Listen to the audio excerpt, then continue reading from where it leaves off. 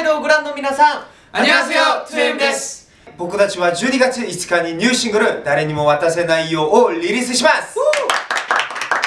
の曲は愛する人を思う気持ちをストレートに表現したバラード曲なんです。君を守っていく誰にも渡せないという強いメッセージが込められた内容になっています愛する人守りたい人手放したくない人がいる全ての人にこの冬にぜひ聴いてもらいたい楽曲ですはい K スタイルでは僕たちのポスターもプレゼントします。たくさん応募してくださいね。それでは皆さんこれからも K スタイルで僕たちの情報を J チェックしてください。以上 2M でした。